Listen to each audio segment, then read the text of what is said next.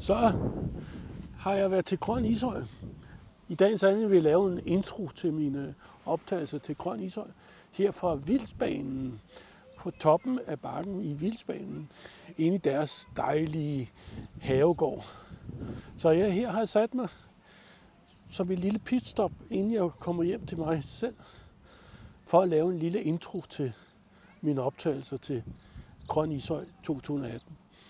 Det var denne gang med Rasmus Sebart Jam, og det bliver spændende, hvordan det lyder.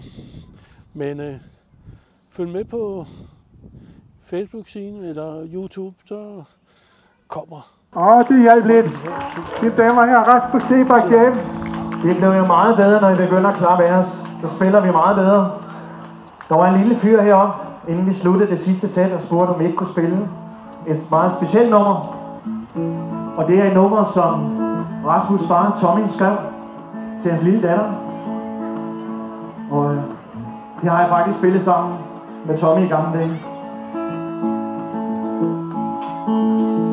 Og det handler om nogle stjerner og underlæg.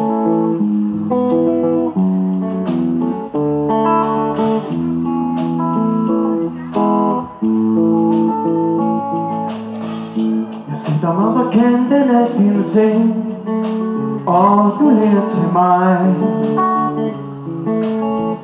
Verden svinder ind til ingenting Når jeg ser på dig? Ligger ligesom ud til stille Og bliver ubeskriveligt lille imellem Dine mange sjove dyr Men i drømmelejen Finder vi så vejen Ud mod nye Deus.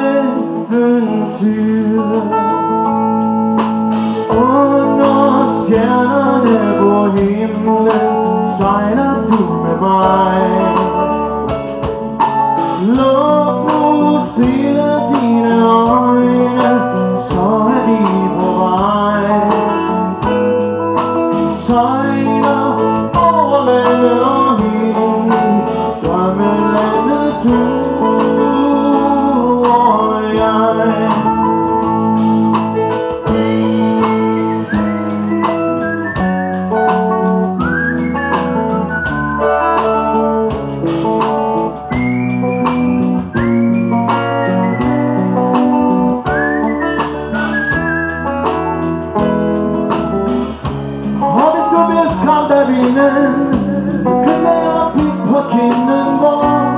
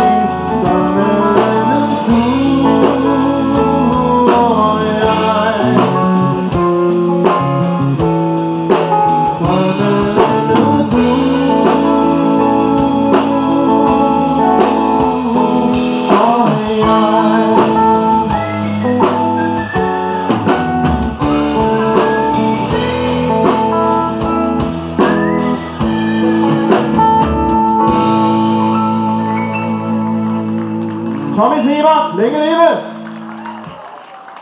Og selvfølgelig også Rasmus.